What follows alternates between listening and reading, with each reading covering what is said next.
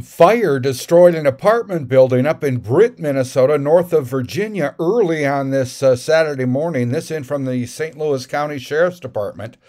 Uh, on this Saturday, at just after 12 a.m., St. Louis County Sheriff's deputies, along with several area fire departments and Minnesota State Patrol, responded to a structure fire located in the 8400 block of Nelson Road in Britt, Minnesota.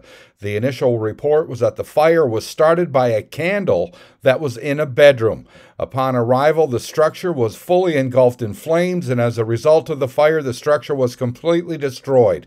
One person was evaluated at the scene for smoke inhalation. No other injuries were reported. The fire is being investigated by the St. Louis County Sheriff's Office and Minnesota State Fire Marshal's Office. Uh, fire departments that responded Pike Sandy Britt, Virginia Mountain Iron, Embarrass uh, Cook, and Vermilion Lake. I'm Neil Carlson reporting for iNewZ.TV.